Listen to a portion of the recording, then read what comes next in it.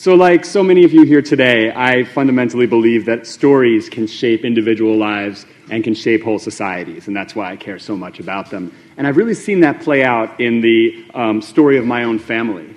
My great grandfather was from this part of the world, he was from Poland actually, and as a Jew living in Poland in the first part of the 20th century, he deeply was raised to live out the stories of the Old Testament in a way that um, I'm not familiar with and I can hardly imagine from where I stand today. But it was his belief and practice of these old stories that set him apart from the larger community that he lived in and defined his whole life.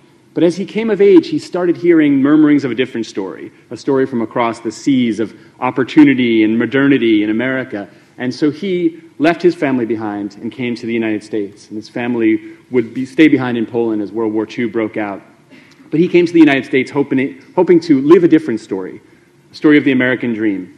He died very poor, but his son, my grandfather, grew up completely immersed in this story that anybody who had a dream and would work hard could grow and be somebody. And he lived that story until he died this year.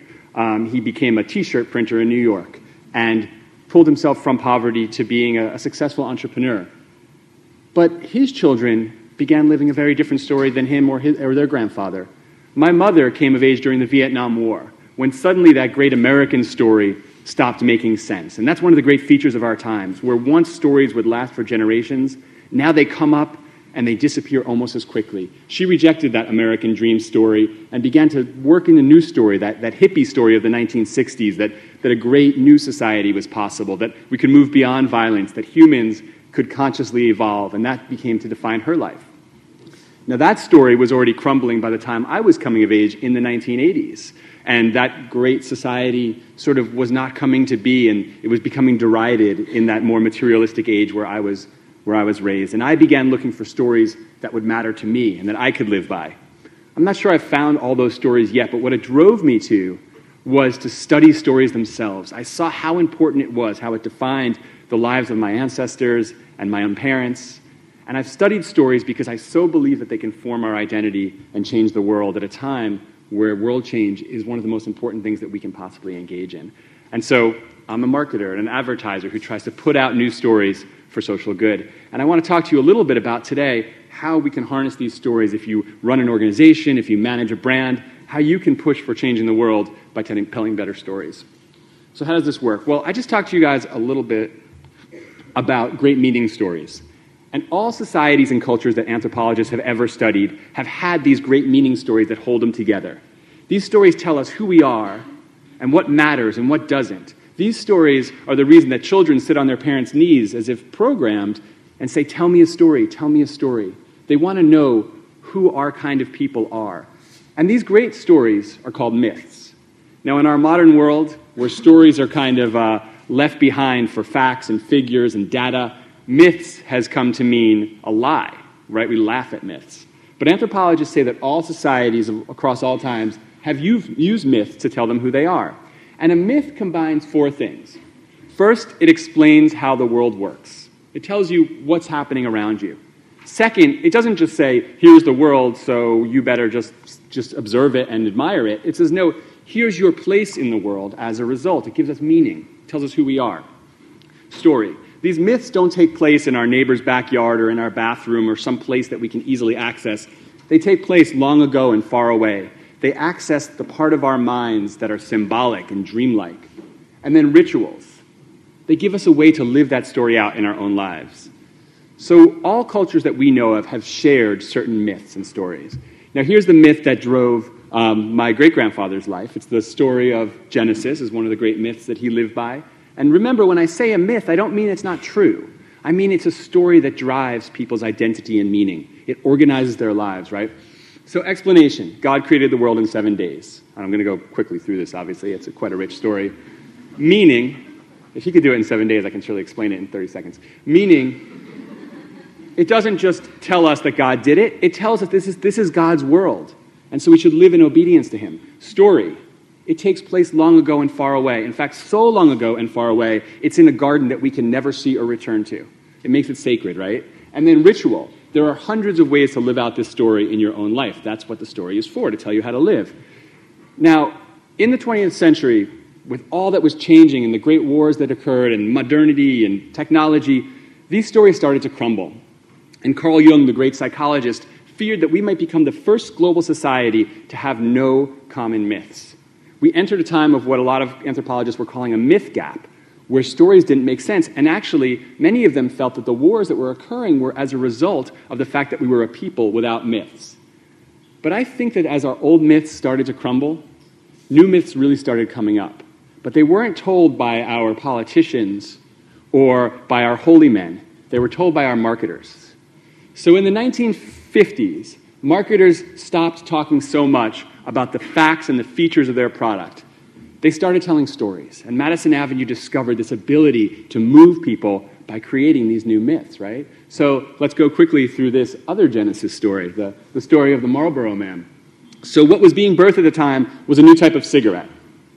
This cigarette had a filter on it, which made it a ladies' product. I don't know if you know that, but in the, back in the day, a man would never be caught dead holding a filtered cigarette. Now, instead of talking about how it was healthier or tastes better doing any of that, they simply put up this image of the Marlboro Man. Now, this guy is dead, and yes, he did die of lung cancer, but he is still the most famous pitchman of all time across the world, and he never uttered a single word. Wow, that is magic, right? How'd they do it? They created a new myth. Explanation, right? Filtered cigarettes are now for men. The world works a different way. Meaning, if you still to this day see someone pull out a pack of Marlboro Reds and smoke it, you assign to them an identity. They assign themselves an identity. It's not just a cigarette, it's a whole way of being, right? So you look at this image, you see that cigarette, you say, that could be me too. Story. People don't walk by these billboards and say, hey, that guy's not real, don't believe that ad. We know he's not real. It's a story, but we love it anyway. And then ritual. Is there any way to live this story out in your own life? Yeah, of course. You go to the store and buy a pack of cigarettes. So marketers became our modern myth makers, for better or for worse. Now, in the beginning, it was really for worse. So, like all storytellers, marketers use a kind of story formula. And they use a pretty common story formula that we probably all know. It's the story of the damsel in distress. So, what they do, they would say, okay, there's a damsel in distress, that's you guys. Um, there's a problem, the world is kind of scary. And then there's a hero, that's us. If you consume our product, you're going to be just fine. So, how does this work? Here's one of the earliest examples. I don't know if you guys know what halitosis is. Um, people didn't know what halitosis is when this ad came out. It means bad breath. Now, this is Sad Edna. She's one of the first great storytelling breakthroughs in marketing. And she is 30 years old and she's still not married. So that was a, that was a spinster back then. And it says that bad breath makes you unpopular. It also goes on to say that you can never know if you have bad breath and people will never tell you, so you better use this product. And through this advertisement, they introduced Listerine to the market, which had never existed before but became a multi billion dollar part of the health industry that exploded thanks to marketing like this, right? You are in trouble. You are not cool enough. You're not good enough. You're not okay unless you get our great product. Now, we don't still make ads like this, but we do make ads like the Whopper Freakout, which is very similar. So, in the Whopper Freakout, they put some hidden cameras in, uh, in Burger Kings and they would, people would come in, you know, sensible adults with their children, they, they're doing okay, and then they're told the Whopper doesn't exist anymore. They can't get a Whopper. And they start to cry. They, they, they trash the store. They become these babies who are like dead because they can't get their Whopper. So, what's the moral of that story? That without our favorite products, we're nothing, right? So, the moral of all of these stories becomes to be a good citizen is to be a good consumer. You can define yourself by the products you create, and if you don't, you're going to be a spinster at 30. Um, now, did this actually work? Well, yeah, look at the levels of consumption that exploded when these kind of advertisements came out. Look at how much young people today still define themselves by their brands, by the clothes they wear, by the cars they drive. We created a society that consumes these myths, that loves these myths, and if you ask people, what myths do you live by? They probably would say, I don't live by any myths. But we're exposed to 3,500 commercial messages every day and we're told by almost all of them, you suck. So, you know, I'm not saying that it's time that we all return to the ancient myths of the past, but this is part of the reason we have the society we do today with all the trouble that we're, that we're facing. This is also why becoming a marketer and learning these tools, but using them for good, is a powerful thing that you can do. So, let's talk a little bit about our changing time, because I think this offers us hope. What's happening right now in this moment? Well, to talk about this moment, we need to go back about 70,000 years to the beginning of human communication as we know it. Um, this is when our first common ancestors uh, began to leave Africa. And we can probably go further back than that. But through, in that time, up until the very smallest sliver of modern times, humans communicated through what's called the oral tradition. That means there wasn't writing, that means there wasn't broadcast tools. Instead, people would give ideas to other people. You'd say them, and someone would listen. Now, this is a survival of the fittest environment because you don't write stuff down. If an idea is not compelling and interesting, no one passes it around and it dies. Transmission of these ideas move through social networks and webs. I can't stand up here with a microphone and talk to 300 people. I have to tell someone and hope they tell their friends. Once I give you the idea, it's yours. You can change it, you can make it your own, and in fact, ideas did morph incredibly. And they spread through so many touch points. I can't tell you that you can't say this idea here or you can't say it in this way. I put the idea out, and almost like a, a, virus or like an organism, it spreads and evolves and changes. This is how the human brain was basically created to consume information and pass it along. Now, we know that the oral tradition began to give way to this broadcast era which turned everything on its head about 100 years ago. So now it's not survival of the fittest anymore. Now we sit on our couches and we watch TV. Instead of me whispering something in your ear, um, it's, it's me being able to broadcast to millions of people if I have the money to do it. And you have almost nothing you can say because you're waiting for your show to start up again, or you're stuck on the highway looking at your billboard, and you don't get to, you don't get to decide whether you see that or not. Ideas are proprietary.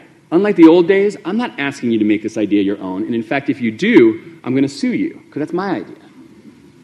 And we only have a few controlled touch points. So, a marketer, like if you watch Mad Men, once or twice a year, you come up with a new idea, you put it out there, and you don't even really hear back from your customers. You just make these stories and they go out. Now, we all know that this era is coming to a close, right?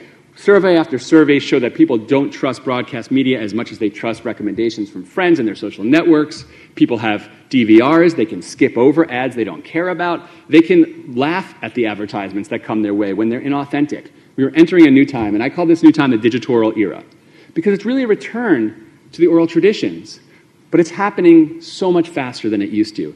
The story of the emperor's new clothes um, got popularized in modern times by Hans Christian Andersen in, uh, in Denmark. But that story began thousands of years earlier in India. But it took that long to get across the continents. Now it can happen in seconds, as with viral video. But otherwise, it's back to the oral tradition. If ideas are not compelling, they die. Transmissions move through social networks and webs. Everyone owns ideas, they rate them, they comment on them, they mash them up and make them their own. And ideas spread in ways that we can't understand or know or predict. This is a new era, and if you're trying to communicate in this new era, even if you're a broadcaster in this new era, you have to learn to master this new world. And like I said, the old world was pretty bad, so this is a good thing, and I'll show you why. But first, we have to ask what's going to survive in the landscape of our new oral traditions? Now, the old marketing language taught a very specific type of broadcast type uh, communication, where I would stand up and tell you what's what. But what's going to survive out here? Well, we can answer that question pretty easily because we can study oral tradition societies and we can see what has survived. They haven't left us much because they couldn't leave us writing. They left us their trash, the bones and pottery shards, and they left us their stories. The stories that we tell today are still uh, evolutions of those ancient stories. We know storytelling survives in oral tradition societies, and if we want to reach our customers and our advocates and activists, we need to tell great stories. And I want to talk a little bit about how we do that. But first, what is a story? This is a storytelling conference, and I'm glad that I get a chance to define what a story is, um, at least in one definition. Hopefully, some other people will, will come up with their own as well. But here's how I define a story. On the surface of a story, you're going to find your characters, your conflict, your settings, right? It's the visible element of the story. So here's the Wizard of Oz. It's all the stuff that you can see if you're not looking at it with a critical eye. But the storyteller doesn't just randomly place characters in conflict on a stage until he thinks it's funny or interesting or cool. He puts them all there to illustrate a core truth about how the world works. That's the moral of the story, right? And this is, again, why we, why we demand in, as young people to hear stories. We want to learn stories. We want to know how the world works. And so that's a worldview, right? We put every character there to illustrate this core worldview. And if a story doesn't have a worldview, we might often say, I'm not sure what that story was really about. Now, the worldview hides something even a level deeper. And it's a little harder to see, but they're always there. I can tell you a story, And that moral might be he who hesitates is lost, common moral.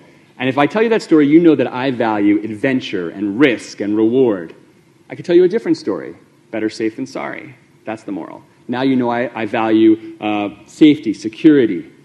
We transmit our values through the stories that we tell and the worldviews that they're encapsulated in. That's the basic of a story, in my mind. So if we think about a brand and all the communications that we create in our modern world, where we have to put out tons of communications, we can't just make that one 30 second spot. What if we think of everything that we say and do out in the world as a story itself? Our brand is a story. And what if we align it around a core truth, something that really matters, something that people say, hey, that's my truth too. I believe that and I want to make that my own. And what if we know the values that we stand for and try to share with our audiences? This is one way that we can start to manage our brand as a story. And it's very different than that broadcast mentality where I just shout facts and figures and tell you how much you suck. And I'll show you a little bit about a new model for how to do that. So, first, think about your brand or your cause or your, or, uh, your publication as a, a story unfolding across all of your channels. Whether that's the experience your customers are having, your Twitter feed, your Facebook posts, your videos. Now, here's Joseph Campbell, and it's a storytelling conference. Of course, you need some Joseph Campbell. Um, Joseph Campbell offers us, I think, a great model uh, that many storytellers use for this new oral tradition world that we live in. So, Campbell was a scholar in the 1960s, 70s, and 80s who studied myths across time and place. He had this idea that maybe you could find a common template that all cultures used. And, um, you know, it's much debated whether he was exactly right, but he did come up with something very compelling. He said, yes, there is a common myth story, and it's called The Hero's Journey. And when George Lucas was really struggling with this space opera he was trying to write that wouldn't come together, he called Joseph Campbell and said, Can you help me? And Campbell said, Yes, let's write it to the hero's journey. And that's where Star Wars was born. So we know in Hollywood, for instance, that this is a very powerful formula. And it can become the basis, I think, for better communication. So, how does it work? Well, first, it starts out you've got this helpless outsider trudging through a broken world. So the hero of the hero's journey is not that knight in shining armor who's got all the answers and is just kicking ass and beating up the bad guys at the beginning. This is our, uh, our orphan, our slave. Moses was 80 years old when he went to, to free the slaves in Egypt, and he stuttered. Um, this is a hobbit who's only about this tall, someone who's really unlikely to change the world. But they know something's wrong and they want things to be different. And then one day they meet this mentor character. This is like Obi Wan Kenobi or uh, Gandalf or um, Morpheus or the fairy godmother, right? Um, and who says one thing basically so much more is possible. You have a great destiny. Now think about that. The old marketers would tell us, you suck. The hero's journey tells us, so much more is possible for ordinary people. It's really different, right? And the, the, and the, um, the mentor says, You got to go on this dangerous quest. And the hero says, No, I don't think so. And then the mentor gives a magic gift. This could be like the lightsaber, the ruby red slippers, the red pill, and says, Go ahead, you can do this. And, and then the hero says, Okay, great, let's go. And the mentor says, No, no, no, I'm not coming with you. Like Obi Wan Kenobi stands there and lets Darth Vader kill him. And then the hero's like, Ah, I'm really stuck, but okay, I said I'd do it. So they go and they confront this dragon, the source of the world's brokenness, the problem, it's the nemesis and they steal this little treasure when they slay the dragon. So now this hobbit is actually quite powerful. Um, and, but they don't choose to make that treasure the basis of their own coolness. They don't use this treasure to cure their halitosis. They use this treasure to come back and heal that broken world. What Campbell tells us is that these stories that we tell helps each one of us believe that we can be heroes in our own lives. We listen to these stories of ordinary people doing extraordinary things and not reaping the benefits of great rewards, but making a better society. And we say, hey, that could be me too. Now, why is this embedded in our DNA? Well, isn't a society where young people listen to this story and want to become better citizens, a, tribe that will hold together better, that will succeed more? It makes sense, right? We want to put aside our selfish egos and become part of something larger than ourselves. So we're programmed to listen to these kind of stories.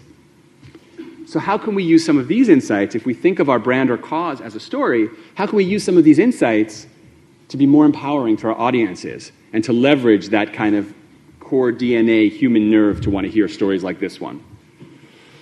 So I'm going to give you four transformations that can make you a hero in your own journey of communication. But first, I need a sip of water. Okay, so first of all, the hero of the story. So, the hero of the story, when you tell your story, the hero of the story for your brand is often you, right? We've been in business for this long. We've accomplished these things. We have the best product. We have the best cause. But in the hero's journey story, the hero is always the outsider, the, most the person least likely to change the world. So, what does that mean? Well, here's how broadcast marketing works, and here's broadcast marketing basically brought over to Facebook. So, here's a picture of a Dodge, um, and it says, We supply the power. Look how great we are. It makes the brand the hero, and it casts the audience as the consumer. Now, think about this for a minute. Or let's think about the halitosis ad for a minute. If, you, if you're flipping through your ladies' home journal back in 1940, you look at that ad, you don't really have a choice. You got to look at it, right? Um, but would you pass that ad onto your social networks? Would you tell all 2,000 of your followers that they have bad breath and they better buy this product? Would that be a good way to build social capital? Of course not. So, story engagement really casts the audience as the hero. This is one fundamental and simple, trans- uh, uh, simple transformation you can create. It's not about how great your brand or cause is, it's about how great your audiences can be. Nike built this iconic brand. Um, whether or not they were completely living it out is another question, but they built this iconic brand not by saying, Our sneakers are the best, it'll make achievement easy for you. They said, Everything you need is inside of you. Let us help you bring that out. It's the opposite of that inadequacy marketing we were talking about. So, lesson one stop talking so much about yourself and how great you are. Start talking about how great your audiences could be. You're not the hero of your own story. Okay, lesson two. I get this question a lot. Well, if we're not the hero, who are we? Well, there's a great role for you. You're Obi Wan Kenobi. You're Gandalf. You're the fairy godmother. Um, you're the mentor in the story. Your brand can serve as the mentor. So, in the old broadcast marketing, uh, the brand would speak in the voice of God, basically would threaten you. Like, you know, supplies are limited, come now. Um, and you're like, who's talking to me? But you just had to listen, because, right? So, um, so we make change mandatory, basically threaten our audiences that you're going to miss this opportunity, you're not going to be okay.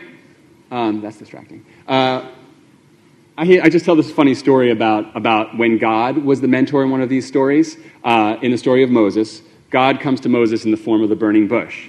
And um, he says, Go free the slaves in, in Egypt. And Moses knows it's God.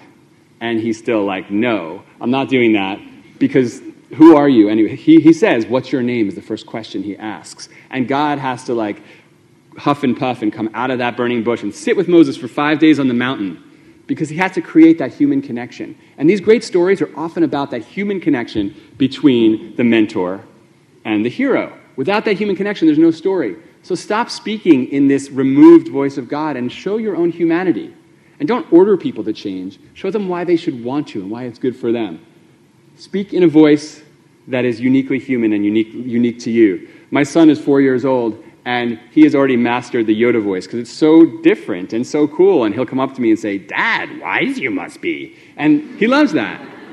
Um, I think that's a great way for, for a brand to be. So we use archetyping in our work to say if our brand was a real human being, what kind of human being would we be? And if you come to my practicum tomorrow, I'll show you how to use this archetyping work to really bring out that human character. But audiences expect us now not to be this detached experts, but to actually speak in a human voice. Even for, even for journalists, you know, the Walter Cronkite days are long over. We expect to know who's behind these stories that we're hearing. So, lesson two think about your inner Yoda and stop talking in the voice of God. Okay, so now I said at the heart of stories are values. Um, it's really important for, for brands and causes to understand what their core values are and communicate around them. I love this, I love, love, love this example, and I want to show it to you for a minute. Um, but first, I'll tell you that the guy who first brought modern marketing techniques uh, to advertising, he invented public relations, he invented uh, campaign advertising and product placement. His name was Edward Bernays, and he was, the, he was the nephew of Sigmund Freud. He actually brought Freud to the Western, to America as well. And he based his ideas on a Freudian notion that human beings are only motivated by things like fear, greed, safety, need for status. And so he built modern marketing in its, in, in its early days. And this is kind of an example, right? It goes back to that old thing. This is an artistic dramatization, meaning it's not true, of what soap would do to you compared to what Dove will do to you. And I will challenge anybody to retweet this. Because um, this is just stupid. It's not true, and it also makes you feel kind of bad about the product that you're already using. So Dove was using this old kind of thing. Now, Freud wasn't the only one who was thinking about values. Abraham Maslow came along just after Freud and said, Freud, you made a mistake. You thought you knew everything about human beings because you studied a lot of human beings, but the human beings you studied were all sick. That's why they were coming to you. So, what if we studied human beings who were doing quite well? And Maslow said that human beings, yes, are driven by basic needs like I need enough food, I need to fit in, I need to feel okay. But also, we're driven by these higher level needs, these, these actualization needs. And actually, they inspire us more. When we speak to these values of community, of self sacrifice, of creativity, um, of truth and justice, it lights us up even more. And so, so Dove did exactly that for the digital era. I don't know if you guys have seen this, if it's made it to this part of the world, but this is the most successful YouTube advertisement of all time, like so demanded advertisement of all time, about 150 million views in the first month. Um, they, instead of talking about their soap, started talking about the beauty myth and about how the beauty myth and the media creates unex- uh, unachievable aims for women and makes them feel bad about themselves. And they created this video in which women would tell a police artist what they looked like and you could see how low their self esteem was. And then some stranger would describe them to a police artist, and they would see how much more beautiful they are in other people's eyes. There's no mention of the product. But women pass this around like crazy. Oprah showed this as content for free on her show several times. This lit up the digital landscape because it told a story about higher level values. So think about your brand and your cause and ask what do we stand for? in this world? And can we make them higher level values? In my, in my session, I'll talk a little bit about what those higher level values are and how to harness them. And not just the values that we operate, like teamwork or excellent quality, but things that really matter to people at their deepest level. Okay, so the last transformation here uh, is about the moral of the story. Now, a good moral of the story is not we're the best in the business. A good moral of the story is not we've been around for 15 years. A good moral of the story that can hold your brand together is a fundamental human truth that someone can say, that's my truth too. So, how do you do that?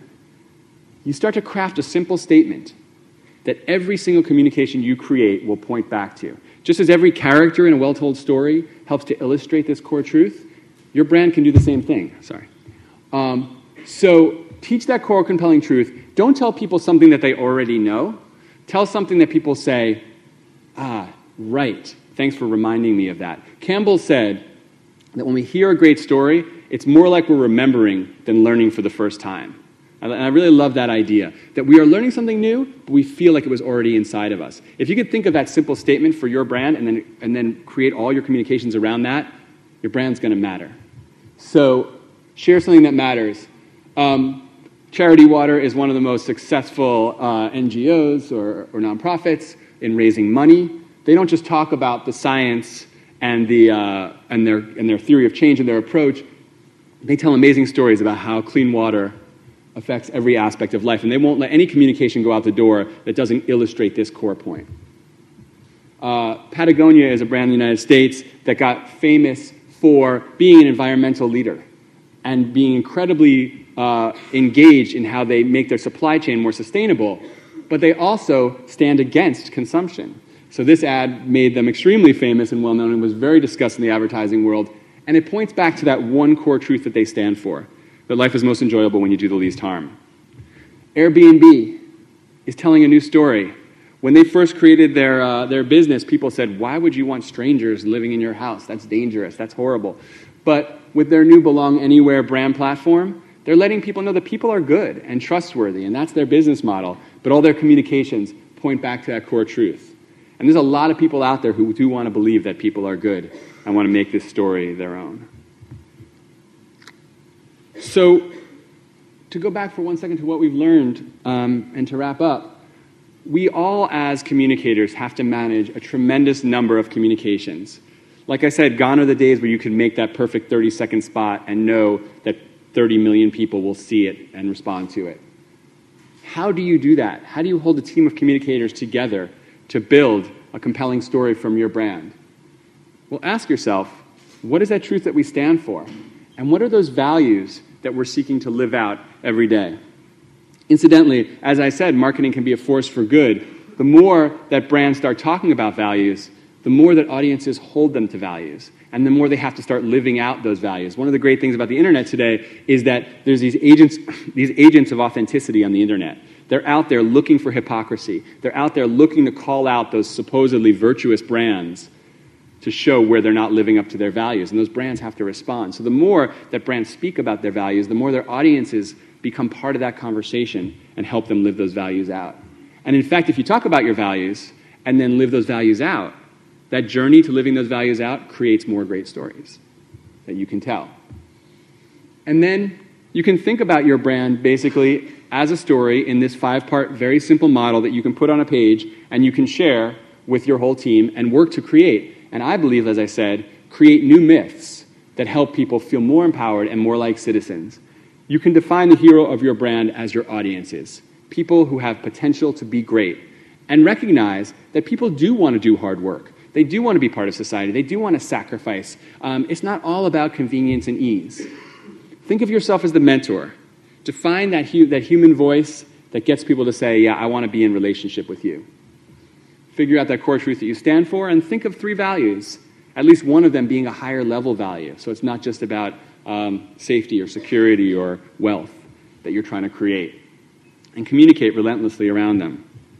And that is the formula, I think, for helping to change this world um, as a piece of it that is so in need of great news stories. And remember, with all of us receiving 3,500 messages a day telling us how much we suck, there's a huge opportunity to create a far better society by creating marketing, communication, and brands that tell us about how great we all can be. And so I explore all of this in my book and with you guys tomorrow. So thank you so much.